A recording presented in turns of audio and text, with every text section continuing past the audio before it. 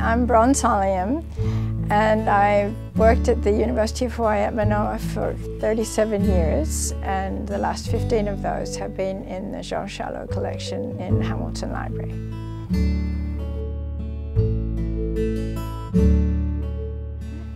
Jean Charlot was um, first perhaps known by most as an artist and he was a very accomplished easel painter, a printmaker, a fresco artist, a sculptor, and so on. But he was also a very fine art historian, and his scholarly work lasted through from the 1920s to the end of his life. He also was a fine teacher. He taught in many places and in many uh, environments, but particularly at the University of Hawaii for the last part of his career.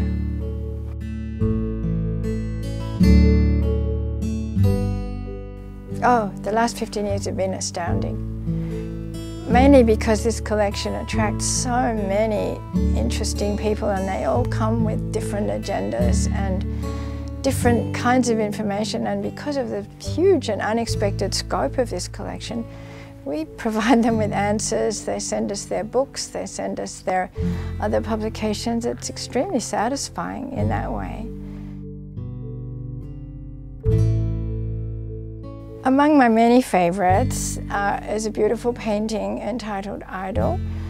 The model is, her name is Luz, and she was a friend of the Charlot family as well as the model for many other artists. I had a fresco artist who works in churches in Barcelona. I had graduate students from Australia, Japan and Canada all in the same year looking for information about other artists in the collection, especially Juliet May Fraser that Charlot had saved.